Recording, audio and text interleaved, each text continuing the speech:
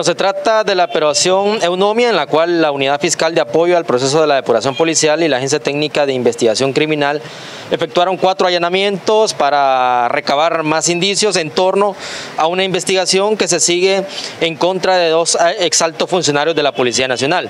Paralelo a ello, se ha eh, realizado una acción de privación definitiva de dominio sobre 83 bienes relacionados al excomisario o al comisario, mejor dicho, en condición de retiro Constantino Zavala y asimismo también en contra del comisionado de policía en condición de retiro, en este caso René Adrián Flores Marcelino.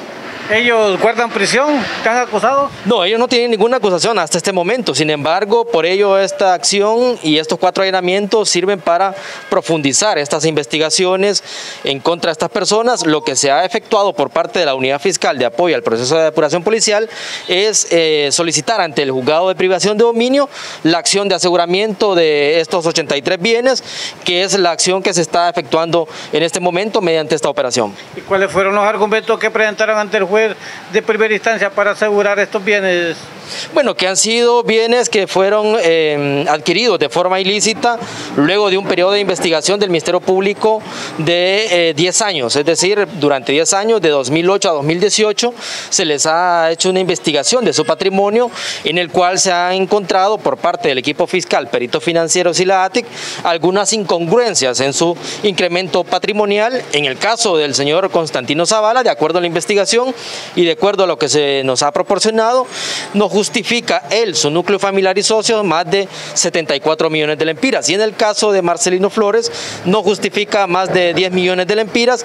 Esto en relación a estos 10 años que se les ha eh, efectuado esta investigación. ¿Y en el marco de estos aseguramientos hay eh, requerimiento fiscal contra estas dos personas? No, en este momento no hay requerimiento fiscal, no hay acusación. Sin embargo, no se descarta, puesto que estos allanamientos han servido para recabar otros indicios, otra información que pudiera dar luz para un eventual o un posterior requerimiento fiscal, una acusación en este sentido. O sea, no están acusados, están siendo investigados, les aseguran los bienes, les quitan los bienes.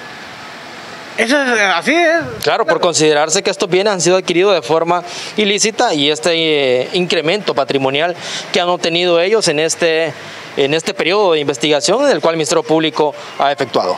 Esto me da pie, Jorge Galindo, para preguntarte a Juan Orlando Hernández por qué no le habían asegurado bienes antes de ser capturado por la Policía Nacional en el marco de la solicitud de extradición? Desconozco, Ronnie, sinceramente, eh, y no puedo responder a su pregunta, puesto que acciones en contra del presidente ya se han llevado a cabo por parte de la Dirección de Lucha contra el Narcotráfico, que era la entidad también del Ministerio Público que efectuó tales aseguramientos. Pero la, la Dirección de Lucha contra el Narcotráfico actuó después de las capturas, casi 15 días después de la captura.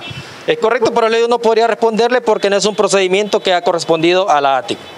¿En la Agencia Técnica de Investigación Criminal no existe algún proceso en contra de Juan Orlando? No, desconozco. Hasta este momento, de, como le digo, le repito, es la Dirección de Lucha contra el Narcotráfico junto con la Fiscalía Especial contra el Crimen Organizado que ha desarrollado estos, estas acciones. ¿Y contra Juan Carlos del Tigre Bonilla ¿Hay alguna acción por parte de la ATIC de aseguramiento de bienes? No, tampoco, desconozco, no podría responderle esa pregunta. Hasta este momento no tenemos alguna información que se nos haya proporcionado. no hay nada, pues, no hay nada. Contra estos dos extraditables no hay nada en la ATIC.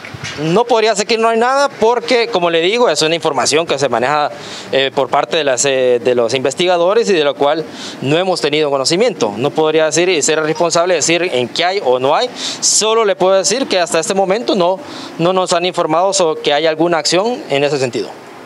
Jorge Galindo, portavoz de la Agencia Técnica de Investigación Criminal ATIC, junto a José Flores en cámaras, Ronnie Espinosa, Confidencial HN.